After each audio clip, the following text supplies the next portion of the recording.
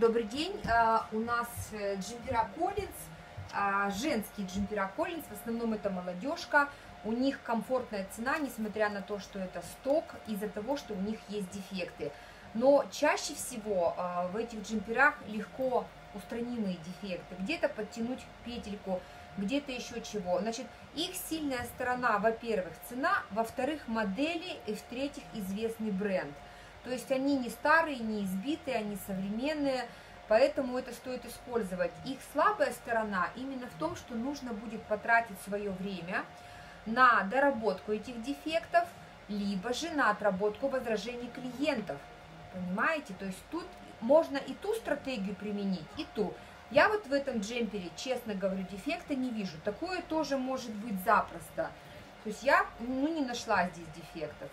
Так, давайте дальше хлопок, смотрите, с воротничком. Какой дефект? Ручка. Вот здесь вот написано, э, ну, сделано ручкой. А так тонкий хлопок, прикольный джемпер, тоже лежит этикетка на нем. Он, видите, для офиса, немножко как с рубашкой. Вот здесь, посмотрите, видите, разошлась петля. Ну, что тут, что тут стоит ее вот так вот быстро стянуть? Но еще раз говорю, что здесь стратегия может быть как на отработку возражений, то есть почему вам э, удобно купить с биркой, либо на доработку дефектов. Но смотрите, если ваш магазин в целом э, предлагает клиенту по хорошей цене одежду с дефектами, то тогда стратегия отработки возражений сработает. Но если вы в целом привыкли своему клиенту поставлять качественный товар, а, без дефектов, тогда, скорее всего, правильная стратегия для вас будет именно доработка этих дефектов. Доработка самостоятельно. Здесь всего 20 джемперов. 20. И поэтому я думаю, что э, можно найти время для того, чтобы э, здесь вот доработать.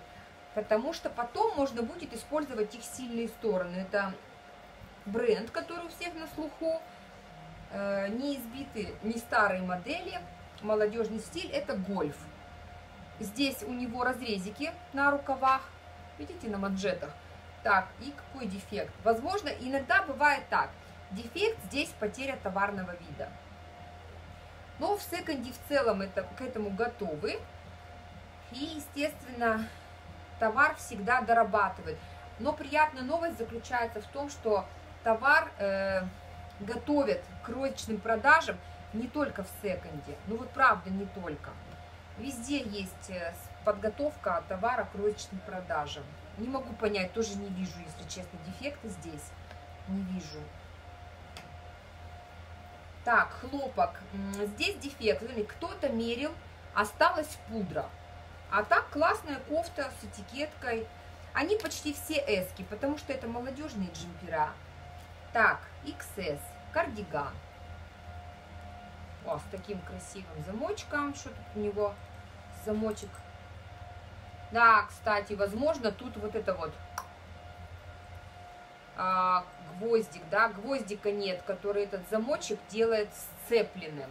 А что может быть? А в остальном дефекта нет. Да. А что может быть этим замочком? Стоит, наверное, обратиться тем, кто обувь ремонтирует.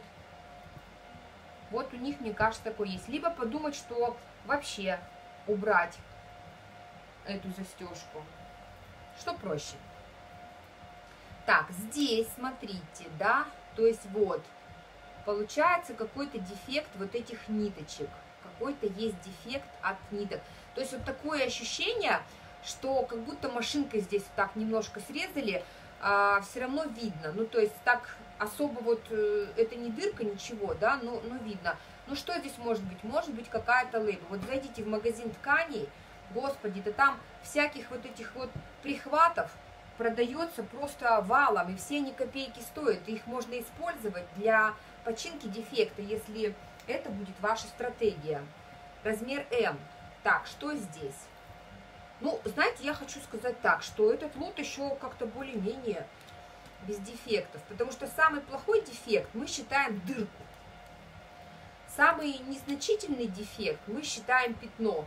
Но в джемперах дырка это всегда, всегда легко исправимо, потому что ткань рыхлая, и можно легко, тоже не нашла. XS. Ну, вот этот тепленький джемпер, то есть, возможно, он останется на зиму, да, к примеру, если кому-то не приглянется по какой-то сходной цене, через месяц просто уберете, да и все. Размер L. Вот здесь, скорее всего, потеря товарного вида, потому что вот он такое ощущение, что как бы его постирали, вот такое ощущение, хотя, может быть, он такой и есть. Так, поехали дальше. XS. Вот здесь вот ниточка. Ее, возможно, крючочком заправить вниз. А так других вот я не вижу. Кстати, этот лот, да, как-то у него мало дефектов.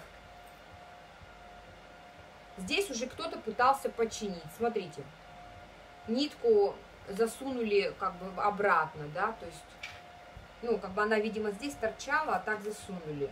Но ведь цена вопроса, сколько у вашего клиента всегда есть возможность сравнить, сколько такой Коллинз стоит, допустим, на, э, в магазинах. Понимаете? Вы бы и сами посмотрели. Тоже полезная информация. Размер М, тонкий-тонкий-тонкий джемпер. А что тут? Я тоже тут дефектов не вижу. Ну, правда, нету. Нормально. Нормально, абсолютно. Так, давайте дальше. Размер М. Это тоже потеплее. То есть это вторая модель, которая потеплее. Тут их две в этом лоте. Тоже все нормально. Даже ниток не вижу. Нет, все в порядке. Но перед тем, как их продавать, надо, естественно, прям внимательно, внимательно посмотреть, если ваша стратегия не связана с отработкой возражений. Смотрите, хлопковый, классный, оверсайзка, да, и у него, вот, разошелся, видите, разошелся по шву воротник. А значит, это в трикотажном ателье, либо любая швея может вам его доработать. Но я вот так вот смотрю, смотрите, ну а если его убрать до конца, он даже хуже не станет. Он, он в принципе, будет также прикольный, прикольный, актуальный. Так что, а джемпер сам по себе классный, и размер у него М. Подробности об этом лоте, его стоимость а, вы найдете в ссылке под описанием. Мы специально сделали эти лоты небольшие, чтобы была бы у вас возможность попробовать новый для себя товар.